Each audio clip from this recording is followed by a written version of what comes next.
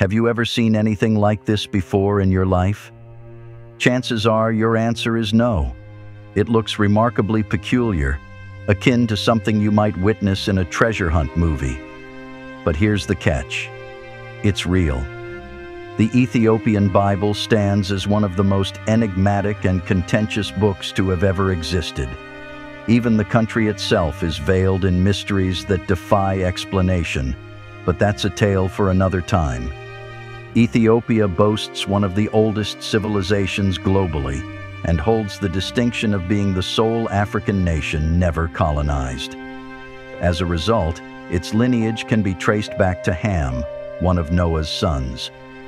This lineage has even been corroborated by Jewish sources. However, this video doesn't focus on the country itself, but rather on its remarkable possessions. Ethiopia boasts some of the most ancient Bible scrolls known to humanity, surpassing even the renowned KJV Bible in antiquity. Unlike the 66 books comprising the King James Bible, the Ethiopic Bible contains a staggering 88 books, including works not found in other church canons. These scrolls encompass texts from both the Old and New Testaments, as well as previously unseen writings. What adds to the intrigue is that Ethiopia possessed these scrolls long before Christianity arrived in the 4th century. Unlike many nations where Christianity was introduced as a foreign religion, Ethiopia's history suggests Christianity was ingrained in its society from ancient times. Since the 4th century, Ethiopia has stood as a bastion of Christianity. Accounts from Egyptian traveler, monk, and historian Cosmas Indicopleustes indicate that Ethiopia embraced Christianity long before his visit in the middle of the 6th century. He witnessed how Ethiopian rulers welcomed numerous Christian refugees fleeing persecution from kingdoms and empires hostile to Christianity. Certain Ethiopian tribes have been venerating the Christian deity for over 3,500 years, making Ethiopia home to one of the oldest Christian communities in the world. Surprisingly, the oldest organized Christian body isn't the Catholic ministry as commonly assumed. Instead, it's the Ethiopian Orthodox Church, locally known as Tewahedo in Ethiopia. Adding to Ethiopia's Christian legacy is the discovery of one of the earliest illustrated Christian books. This ancient text, part of the Gospels written in Ge'ez, an old Ethiopian language, was unearthed in 2010 in a monastery atop a mountain in Ethiopia. According to the Kebra Nagast, which is an Ethiopia's holy book, in the 10th century BC, an Ethiopian ruler and the famous biblical queen of Sheba went to Jerusalem to ask the famous King Solomon for advice. It's even recorded in the acceptable Bible canon. But what the Bible didn't tell us is that the two rulers had a son together named Menelik. Queen Sheba took the boy back to Ethiopia and made him the first emperor. In 2012, experts looked at the genetic makeup of many Ethiopians and found some evidence to support Sheba's journey to Jerusalem and birth there. In such, it is believed that Egyptian, Israeli, or Syrian people may have mixed with the Ethiopian natives around 3,000 years ago, during the time when the queen is said to have ruled the kingdom of Sheba, collaborating the story even further. Despite having all these credentials and authenticity, the Ethiopian Bible is still discarded and not taken as part of the canon of the holy books. In fact, most people, including believers of the same faith, have never heard of the Ethiopian Bible. This serves to underscore the concerted effort made to discredit and conceal the Ethiopian Bible. This prompts the question, why? To comprehend this, let's delve into a brief history lesson. The contemporary Bible differs significantly from its historical counterparts. In the past, there existed numerous versions of various Bible passages, along with diverse interpretations and understandings of its contents. As we all know, the Bible texts were originally written in Hebrew before being translated to other languages. The first translation was done by a man known as Saint Jerome from Hebrew to Latin. He was responsible for putting together what is known as the Vulgate around the year 400. And the Vulgate still remains the principal Latin version, or the translation of the Bible. It had 27 books called the New Testament and 39 books called the Old Testament. At that time, it was called the Hebrew Bible. You see, in the first century, many books were written about Jesus' life and teachings. However, many of them were not true. These were like fan fiction novels of the account of Jesus' life. The issue arose when these books were written and released to the public.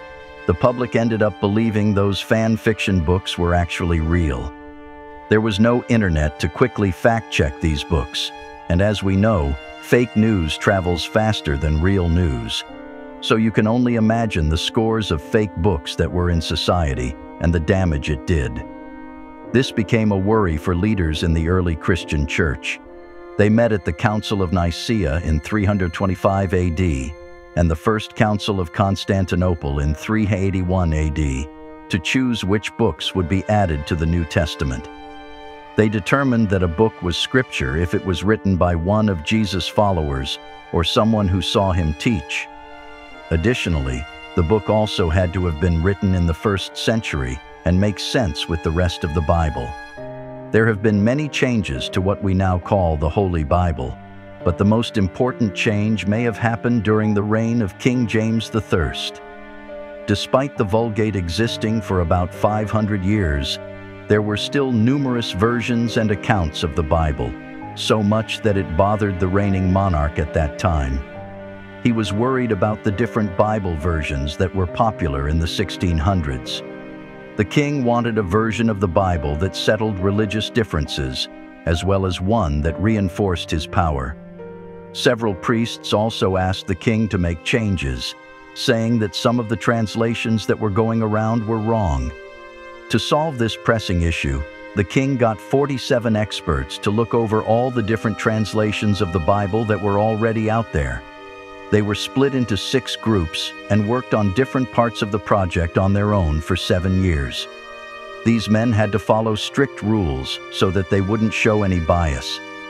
They employed various methods to create a scholarly Bible and also used a number of different tools to help them make a scientific Bible that stayed true to the original languages. When the priest and the king looked at the works of these experts and saw that they had similarities in their work, despite being far from each other, they approved it, giving glory to God for guiding them to arrive at the same conclusion. In 1611, the King James Bible was published, and because of advancements made in printing, it became one of the most accessible Bible versions to date. So these edits made in the King James Bible and the original Vulgate translation made by St. Jerome saw to it that some books were not included in the Bible most Christians have today, while the Ethiopian Bible still retains all scripture. Now that we've delved into a brief overview of the Bible's history, it's time to address the central question of why the Ethiopian Bible faced rejection. There are numerous factors contributing to the non-acceptance of the Ethiopian Bible, but the primary reason is due to the Ethiopian Bible includes additional books known as pseudo-epigraphs. Pseudepigrapha are falsely attributed works, texts whose claimed author is not the true author, or works whose real author attributed it to a figure of the past, like fan fiction. Pseudepigrapha are considered non-canonical by most other Christian traditions. The books that were removed or rejected were ones that scribes and theologians of the time already knew were not divinely inspired. Many people before and after Jesus wrote these books with evil intentions, and I understand their reasons for removal. Take, for example, if someone today released a book and said Kobe Bryant isn't a great athlete, the book would be a great failure, and the author would receive lots of backlash because we know that is false. But give that book 500 years, and when someone in that timeline sees that book, people in that era could start to think that Kobe Bryant do actually suck. So to prevent such lies from spreading into the future, we root it out now. Now even the Ethiopian Bible has two canons, the broader and narrow canon. Before delving into it, let me first define what a canon is. A canon is a generally accepted law, rule, principle, or criterion by which something is judged.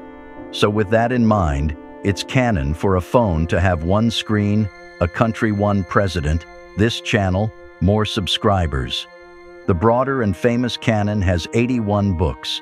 In this popular version, we have Enoch, the Jubilees, the three books by Maccabees, Epistle to Clement, four books of Synodos, and a whole lot more. This is the main one of the video and the one that has garnered some attention. The narrow canon, on the other hand, was overseen by Emperor Haile Selassie. He created the narrow version and publicly proclaimed that this was the official and completed version of the Ethiopian Bible. The reason for this, unfortunately, I can't say because it might cause a misunderstanding and a war in the comments section, but all I will say is look him up on the internet and do your research and see the truth for yourself. The narrow canon version doesn't have some scriptures that are found in the broader version. It just has 72 books in it. While the broader canon has everything the narrow canon has and more, the broader canon has not been reprinted since the early 20th century. So already you can see that even within itself there were already controversies. And having two different versions could also contribute to it not being accepted. The Ethiopian canon is a great way to see how the Bible has changed over time. Contrary to popular belief, the Bible isn't just one book. It's more of a collection of texts and experiences written over many years. And that's where the problem kind of lies. Different religious groups, including the verified or accepted ones, have a long history of excluding or including different texts or copies based on different theological slash personal grounds.